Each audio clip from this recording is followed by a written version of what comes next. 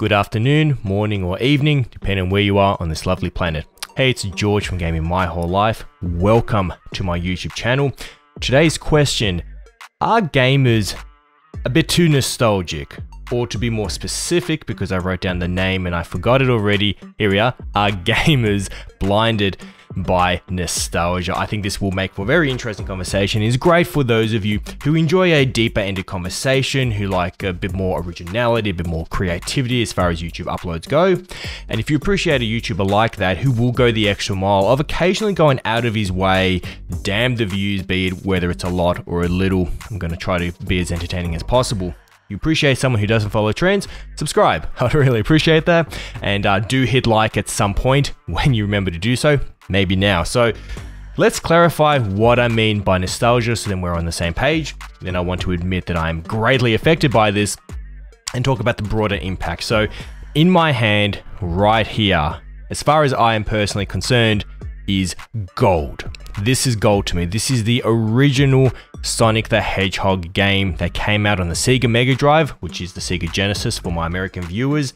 This is the original deal. When I open it up, Ignore the Battletoads book that I have in there for some reason. It's here, right? Simply looking at this, literally, not fake hype or whatever, or fake excitement, literally takes me to a different existence, makes me happy. I am completely biased towards that game. I am biased due to my nostalgia to this, which is the Resident Evil 2 in mint condition for the PlayStation 1. This game is arguably by many considered to be the best survival horror game that ever came out.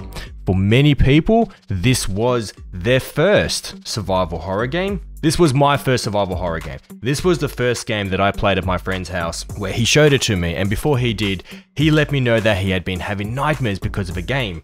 And being, you know, a mature teenage boy that I was, I think I was like 12 or something when I played it, um, I made fun of him. Not that I was a bully back then or anything, but you know, if you're a guy, you know how it is. You make fun of each other. And um, yeah, he told me this game was making him have nightmares. I laughed at him because by then I considered myself a gaming expert. I had played through the entire generation of the original Nintendo. I had pl- I had played through the entire generation of the Super Nintendo and the Sega. I considered myself a master two console generations in the ignorance of youth. But anyway, I'd play two whole console generations. And so the mere idea that a video game could give you nightmares, could scare you, I thought, man, my boy's a pansy. What what is going on? I borrowed the game. It scared the life out of me. I had so many nightmares. I loved it, right? So extremely biased. And of course, you know, if I have a look at this, which is Mario 64 on the Nintendo 64 cartridge, again, extremely biased. And I have countless other examples, but that's all I'm going to show. Now, nostalgia, as far as I'm concerned, is bias. It has to be bias. You have memories attached to it. You have favorable memories, right? And our mind, our brains are really smart. We do a great job of blocking out everything bad that happened at any given time and trying to remember all the good time memories. So, you know, I look at this and I feel happy. I think about the colorful colors. I think about the graphics. I think about how I felt playing it. I think about the age I was at that time. I don't think about the fact that I was heavily bullied in high school or the fact that I was in a fight literally every other week. I literally fought my way through high school for the most part, right? And that's not something I often talk about on this channel because our memory is very selective and so forth, right? We look at the good things, we remember the good things, you know. While playing uh, Sonic the Hedgehog, I didn't need to think about the fact that, you know, things were hard at home and I had personal problems going on there. It didn't matter. I pick up that Sonic the Hedgehog case, I pick up that Resident Evil 2 case, I pick up my Mario Kart 64 cartridge, and all I remember is the good things. So there is a bias there, it is a positive, selective, filtered bias. What I want to question and answer, and you know, we can do this together as fellow gamers, is whether or not, frankly, to be brutally honest, if our opinions and judgments can even be trusted when we're covering sequels to games and situations where there is an obvious bias because of our um, you know childhood experiences and so forth maybe i'm reviewing a future game which didn't deserve a 10 out of 10 But because I have some selective positive memories with the game that came out prior, like freaking 10, 20 years ago or whatever, I give the modern version a higher review grade than maybe it deserves. And frankly, I think all of us are guilty of this firstly. I think anyone saying that they do not suffer from nostalgia in the slightest is being disingenuous and is frankly being dishonest to either their audience, if they're a YouTuber such as myself or any other online personality, or they're lying to themselves and haven't self-reflected enough how could you not be biased? And bias sounds bad, but the way I see bias is bias is just favoritism. How could you not be a little bit more, um, you know, kind towards something that you like? It's like the, it's like you're on a, you're playing a sport and you have a stranger to the left and you have your best friend, girl or uh, woman or man, boy, girl to the right, right? You're gonna, and you have to pick who the next person is, is gonna play on your team. You're gonna pick your homeboy or girl, aren't you? Of course you are. So it does exist. But is it a problem? I have seen whispers over the internet over the years, this is something that has been discussed many times, as to whether or not people like me, and don't worry if you're young, one of my younger viewers, um, there's a small handful of you, so hello, but if you're one of my younger viewers, and let's say you literally haven't been alive long enough, or you haven't been gaming long enough that nostalgia really has much of an impact on you, mark my words, 10 years from now, you will get it you, will get it. And I'm not acting smart. I'm, I'm not putting you down. It's just, it's literally the like transition of life as far as gamers and all that go, right? Of course, you're going to look back in 10 years time and think about all the wonderful video game experiences that you had during this time. You're going to block out all the microtransactions, BS. You're going to block out the, the broken launches and this and that. All you're going to remember is the first time I know you played Ghost of Tsushima, Spider-Man, Xenoblade. I'm, I'm, just looking at my wall. You're going to be very selective. You're going to be very nostalgic. Um, Dark Souls games and all that, right? In 10 years time, let's say those games disappear and then they come back 10 years later. You're going to be so nostalgic. You're going to be so happy and excited. So to answer my own question, Heck yeah, I think we're blinded by nostalgia. I don't think that means we can't make accurate judgments and so forth. It means we're going to be a little bit more positive towards something. I truly believe that if nostalgia is part of it, a game that we would normally give a 6 out of 10 to, I reckon at the very least we would bump it up to a 7. That doesn't mean it's inaccurate though, because sometimes, often actually, I think fans should come first. I think when developers make games, they should one, appease and appeal those who made them successful in the first place. So for example, Street Fighter 6 is coming out soon. As far as I'm concerned, it's Capcom's job to look after the old Street Fighter fans first, and then the new guys, right? Now, I think nostalgia is actually a very good thing, and I think uh, developers and publishers are actually very well aware of it. Firstly, when a brand new game comes out that's based off an old IP, right? When a new Resident Evil game comes out, when a new Street Fighter game comes out, when a new Mario game comes out, when a new any game comes out that has a previous history. Firstly, it is your greatest, strongest, nostalgic fans that are hyping you, that are doing the pre-orders, that are doing all of that, right? Also, one good way to think about fans who stubbornly hold on to nostalgia, because frankly, as I said, if you're old enough, you do have nostalgia, there's no way you don't. And if you're young enough, cool, you're gonna have nostalgia later on, so you will get it, right?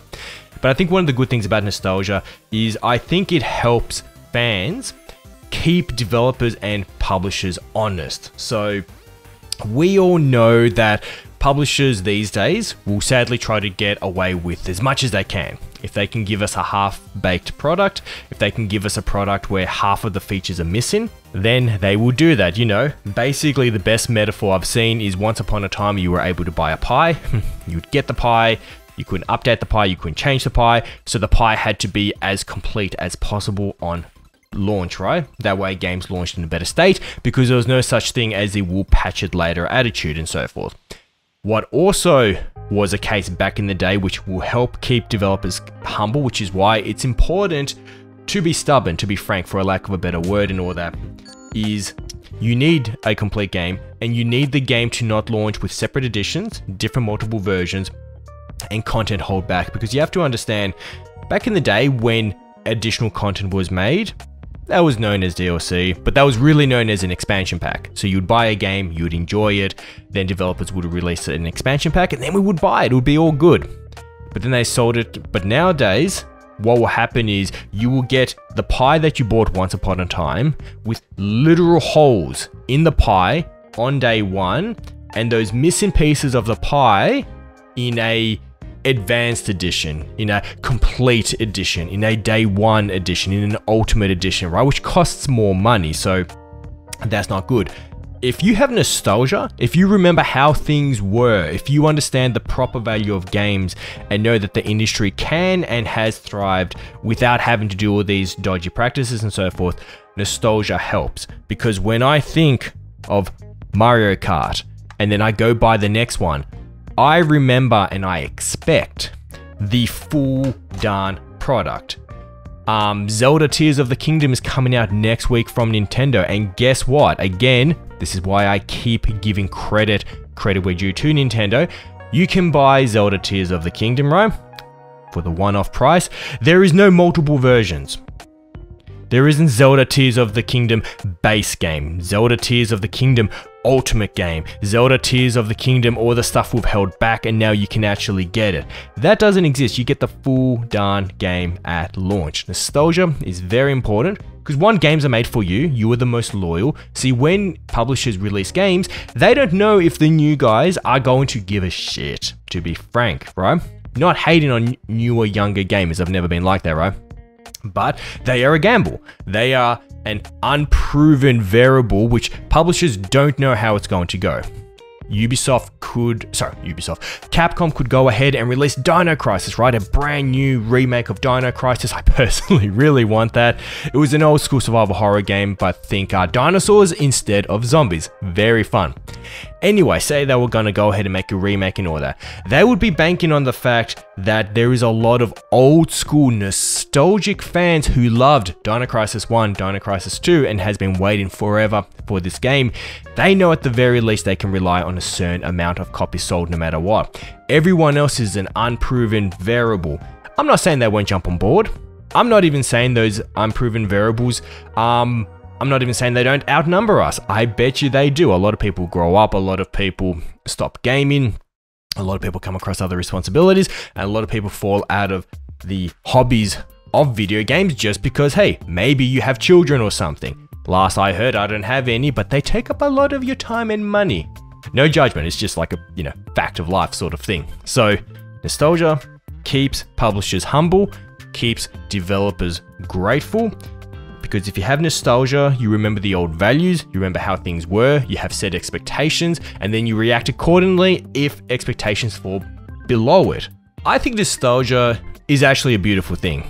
It's something that takes you back to your childhood, to your selective childhood, where all the good memories are, where you forget all the old memories, and what the game did for you at any given time. See, I have the ability, I'm bad with years, so if you're like, alright, what year did this happen? No idea. But if you show me like Nintendo 64 cartridge, it's like, right, what were you doing in your life everywhere when this game was out? I will be able to answer that question. if you want to know how I thought before I was even 10 years old, when I was super, super young, just show me this, my mind goes back there, right? So I see nostalgia as a very good healthy thing, which is very big in the gaming industry, especially since um, either through emulation or through developers re-releasing their games, we get to re-experience our childhood memories. That's why remakes are so good. Because when a remake comes out, it it with the modern graphics and so forth. Yes, the remake always looks a lot better visually. But what it really does is simply makes you feel the way you felt at the time. So I'll use the Resident Evil 4 remake, right? I haven't gotten my hands on it just because my backlog is, is, is too big. I will definitely get it. And I still need I still need to play the Callisto Protocol. I have it, you know, waited on the PS5 for me. I just need to have time to play it. What was I saying? Whatever. I need a coffee. I've clocked off. Thank you so much for hanging out with me. You have a wonderful, wonderful, wonderful morning, afternoon, or evening, depending where you live on this big blue planet of ours. God bless you all. Take care. Oh, and by the way, I really should have included this at the start of the video. I'll probably edit this to the front of the video so it doesn't look awkward. Thank you so much for those of you who decided to check out my first Gaming My Whole Life podcast. The video ended up going for like 40 something minutes. It ended up going much longer than I thought. We talked about the PlayStation VR 2 and how fans love it. And of course, the hype and excitement around Zelda Tears of the Kingdom. Thank you so much for watching that first uh, podcast episode. YouTube is apparently going to support it going forward. So I thought I'd try it out. And um, I think there'll be another episode coming soon.